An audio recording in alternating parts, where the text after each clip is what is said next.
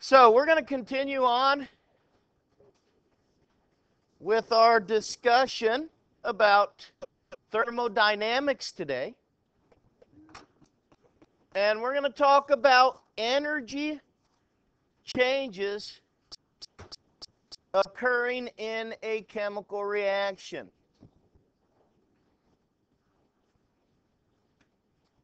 We will need some of this information on the lab that we will do on Friday. Okay, so the lab later on this week will be using some of this material. And we are dealing with energy changes that are occurring when chemical reactions take place. We talked earlier in this unit about bonds being broken and bonds being made when we have chemical reactions occurring. That takes energy. So we're going to look at some of the energy changes that are taking place. Okay? Some of these changes involve heat. Okay? That's where we get the thermodynamics. The thermodynamics because of the heat involved in these changes.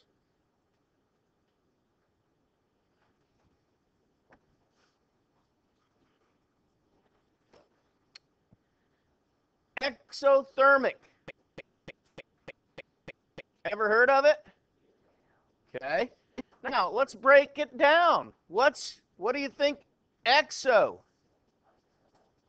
Out or leaving. So the heat is leaving in an exothermic reaction. So exothermic is a reaction that releases energy in the form of heat.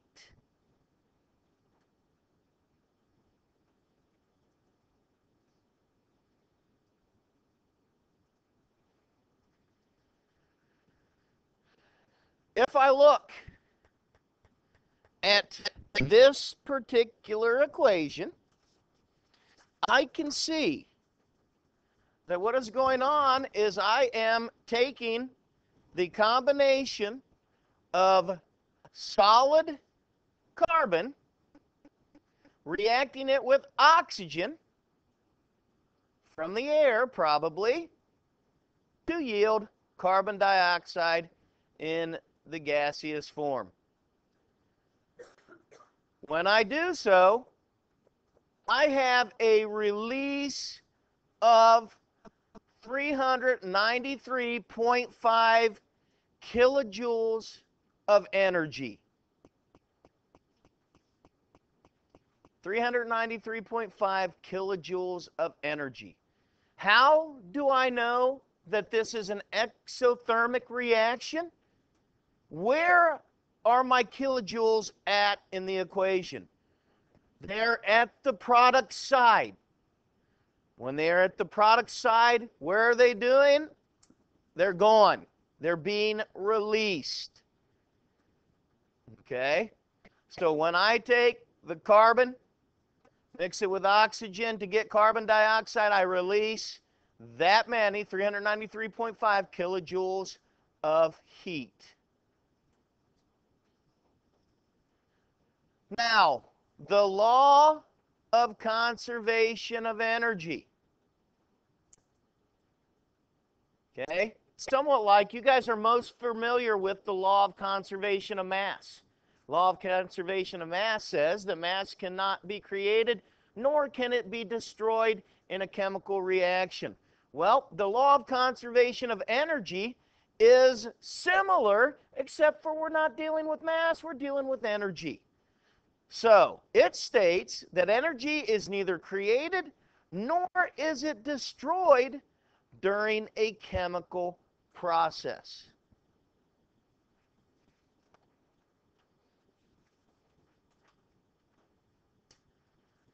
Where does the energy come from?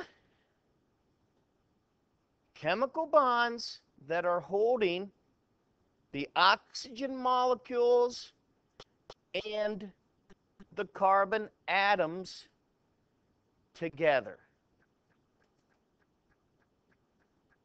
So that energy comes from the bonds that are holding my reactants together. Remember, we talked. Bonds need to be broken, new bonds need to be made. Garrett?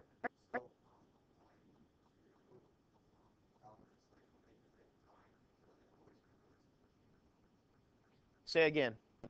I didn't hear the last part.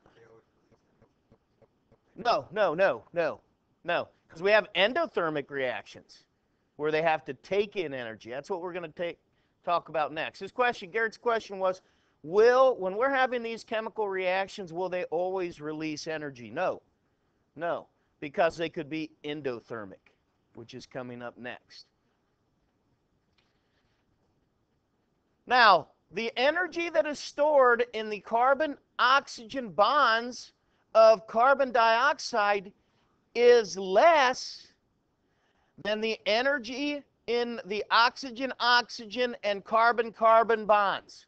So basically, what that is saying, this sentence is that the energy that is needed to make the products, in this case, is lower than the energy that is broken in the reactants.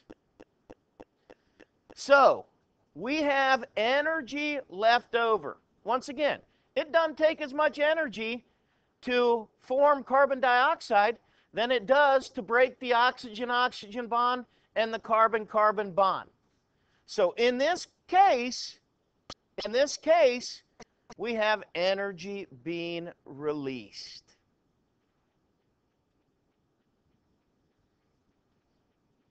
But like we were talking about there with Garrett, is that always the case? Absolutely not. Because you're going to see here on this next slide that we're talking endothermic reaction. Now, what does endo mean in terms of our prefixes? Coming in, okay, entering. Endothermic reaction is strictly meaning, if we break it down, that heat's coming in. It needs heat to occur. So, an endothermic reaction is a reaction in which energy is absorbed. Energy is absorbed.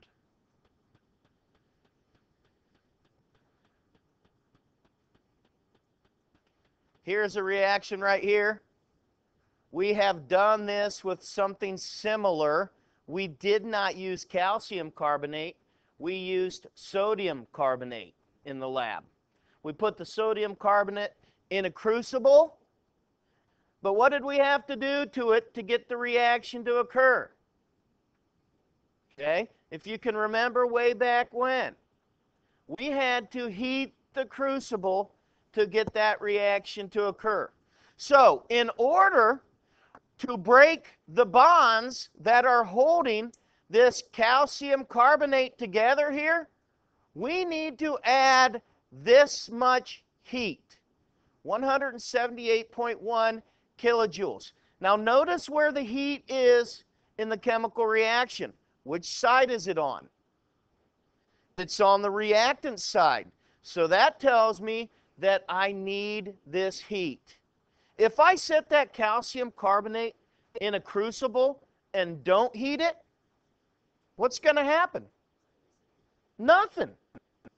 Because I don't have the required amount of energy to break the bonds. Okay? I don't have the required amount of energy to break the bonds. Stop and think about when we had the magnesium metal in the crucible. Would that ever react if I didn't heat it? No. Okay? No. So we need a certain amount of heat. That would definitely be an endothermic reaction.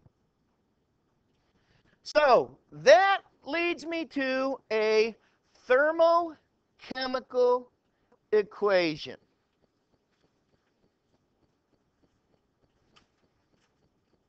A thermochemical equation is an equation that includes the amount of heat produced or absorbed by a reaction.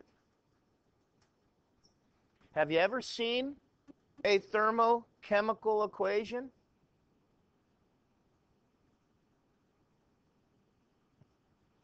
What do you think? Probably, I heard. Anybody else got an idea? Maddie says probably. Well, let me ask you this. Have you ever seen an equation that included the amount of heat? Didn't we just see two of them? So those two equations that we just talked about are both thermochemical equations because they tell us how much heat is either released or absorbed. All right? So if I go back a slide, here is a thermochemical equation because we do not have to put that in there, do we? What we had been doing is we've just been putting the delta above our yield sign to say we needed to heat it, right? Now we're saying, okay, we need to add this much heat for that reaction to occur. If we do not, it will not happen. I don't need to add the delta sign on this because I have an actual amount of heat. Okay? Now, here are two different types of reaction pathways that are shown here. Now, notice on the left-hand side, my reactants have, and my axis right here, this is energy, and this is a course of reaction if you can't see it, okay? Course of reaction, energy. The big part that I want you to understand Look up here. The reactants have very high energy. The products have very low energy. So what type of a reaction is this? Okay. It's an exothermic. Okay. I could come up here and get the change in the heat, couldn't I? I could get the change in the heat given off, the energy given off just by subtracting those two. Now look at this side.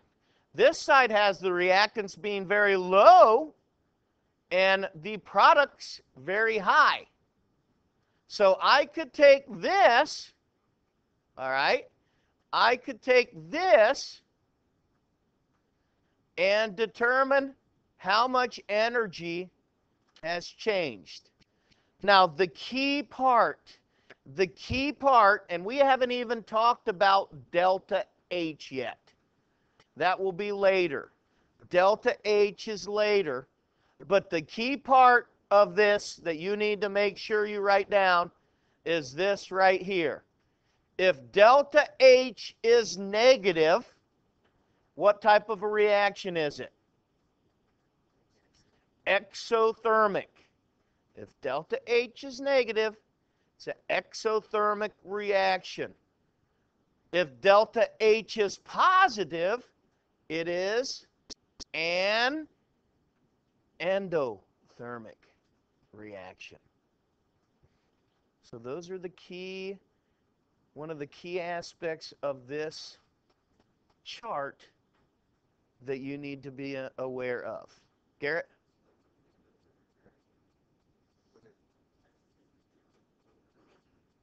Yes. If we have an endothermic reaction occurring and I would fill the container, it would feel colder. Have you ever had a cool pack? You know, I've seen paramedics get out a pack and break the pack, and all of a sudden it gets really, really, really cold, and they put it on the injury because they don't have ice right there. Okay? Those cool packs are endothermic. They're taking the heat in during the reaction, so it feels like it's cold. Now, vice versa on that, I'm sure at one time or another you've had a heat pack, right? to warm up your hands. Okay? Certain certain ones of those, and I'm not saying all of them because my baseball players used to have heat packs that they put in their back pocket and put their hand in there to keep it warm on cold days. Okay? I'm not saying all of them are are exothermic reactions, but there are some that occur that are exothermic reactions. Okay? Some of them aren't even reactions at all because do you remember when we had the supersaturated solution in the one pack and we clicked a little disc and it it came out and got all warm? I did that as a demo. Okay? That is not even a reaction. That's just heat being released by the supersaturated solution. Okay, so not all of those are exothermic, but some of them are. Some of them are. Now, the final thing we're going to talk about, the new stuff today, we're going to also work another entropy question here when we're completed. But the last thing we're going to talk about is specific heat. You got a little bit of an intro to specific heat on the lab that you just turned in. Okay? Because you dealt with that CP.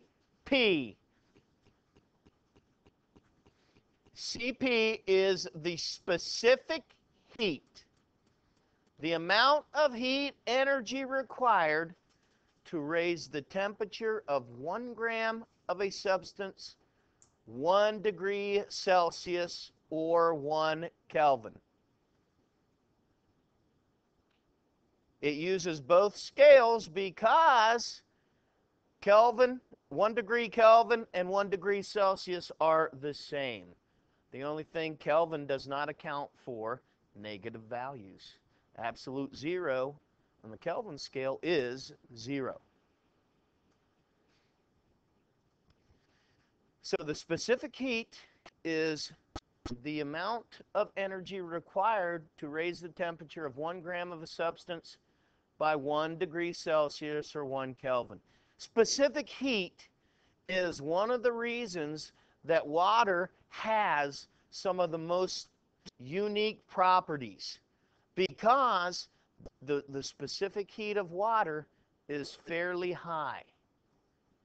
As I switch my slides here, okay, I show you some values of specific heat. And notice some of the higher ones that you see up there are water, ice, and water vapor. Okay, this chart, no, I don't think this chart's important for you to write down. You can find this chart if you need it again somewhere by just, you know, Googling specific heat. So I don't think it's necessary to write this down, but I just wanted to show you that yes, indeed, water has a high specific heat. Now, what does specific heat actually mean again? How much energy required to raise the temperature of one gram of a substance? One degree Celsius. So, by having a high specific heat, it's going to take a decent amount of energy compared to something that has a lower specific heat, such as lead okay, such as copper, such as iron. If you put iron on one of our heating plates back there, that heat will transfer into that iron fairly quickly, won't it? And you're not going to want to pick it up because it'll be hot. Well, that heat won't transfer into the water quite so quick because of the specific heat. It needs more energy to heat up that water than it will to heat up these metals down here. Does that look familiar? Anyone? How does that look familiar? That was in the lab that we calculated. That was the second one because if you remember right, I told you, make sure that you use this mass as being the mass of water that is cooling not the mass of ice that melted, right? Now, once again, Q, Okay? The lab clearly explained that Q was the heat that was gained or lost. CP, once again, is a specific heat. M is the mass of the sample, the mass that is being heated, or it could be cooled, as we saw in the lab. And finally, delta T is the change in temperature. So we kind of did this like the IPS labs went. You remember how you did the lab in IPS and then you took the notes over it and learned about it? Okay? So we were introduced to this in the lab. And now here's our notes over the specific heat.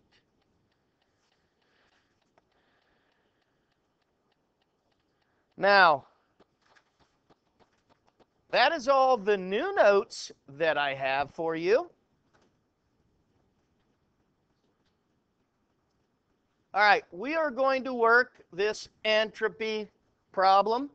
It says green plants synthesize glucose by photosynthesis as shown in the following reaction.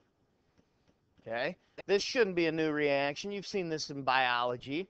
Six carbon dioxide will react with six water molecules to yield glucose, C6H12O6, and oxygen. Now, we are going to find the change of entropy at standard conditions. So, in order to do so, I know that delta S 0 is equal to S sub 0 of the products minus S, I guess it's super 0.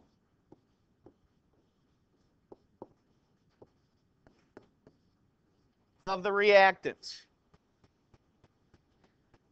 So what are my products? What are my products here? Glucose and oxygen, right? So, I am going to find my standard entropy for glucose. C6H12O6 as a solid. And I see that it is 212.1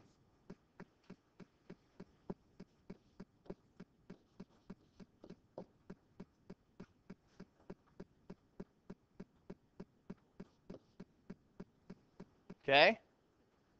That is my first reactant, or excuse me, product. What is my second product? Oxygen gas, right? Now, if you remember from yesterday, oxygen gas is with the hydro, or excuse me, with the, well, yeah, with the oxygens. I guess water was the one we couldn't find yesterday. Oxygen gas is what? 205.0, but how many oxygens do we have? Six. So I have to take six, I have to take six times the 205.0 joules mole Kelvin. Close my parentheses. So my products are going to be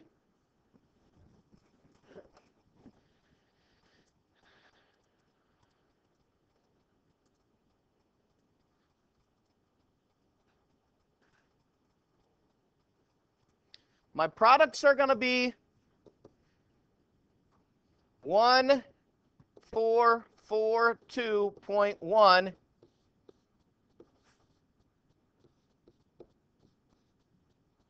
Agreed? 1442.1 joules over mole times Kelvin. My math right? All right. Now, I need to do the products, or excuse me, the reactants. So I put the minus sign. I'm going to do my reactants in a different color just so you can see it. Okay? Just so I, you can see it. And in order to conserve room, I'm not going to put a label on them until the end. So in order to conserve some room, I'm going to label them at the end. But I have carbon dioxide as a gas, and I have six of them. So I find CO2 as a gas, 213.6.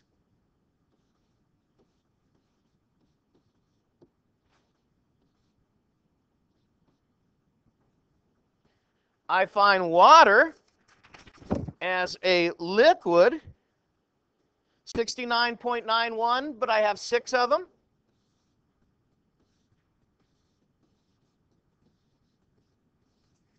So what I'm going to do is I'm going to put this big bracket around that to make sure that I do all of that math-wise before I subtract it. Okay, so I'm going to take 213.6, multiply it by 6. That gives me a value. Then I'm going to take 69.91, multiply it by 6. Gives me a value. And when I add those together, I'm going to get 170 0.06. And now I'm going to put my label on it since I've got room down here. Joules, mole, Kelvin. My other value is 1442.1 joules, mole, Kelvin. So as I go down just a little bit more, what I'm going to do is I am going to take 1, 4, 4, 2.1, and I'm going to subtract the value I just got, the 17. So I get a value of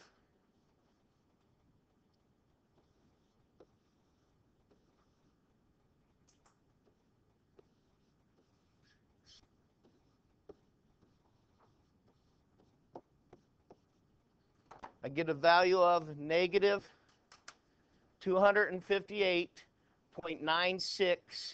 joules over mole times Kelvin. So are we gaining or losing entropy? We're losing entropy from reactants to products, correct? Now, what do you think? We got a thumbs up with that? This could be, I mean, this might be one of the tougher ones. The problem that I see people have, can anybody guess what do you think the problem is, Kyle? Switch products and reactants, absolutely. One of the biggest problems. What do you think another one you could possibly see? Oh, they forget something, but it's not necessarily negative. They forget to the coefficients.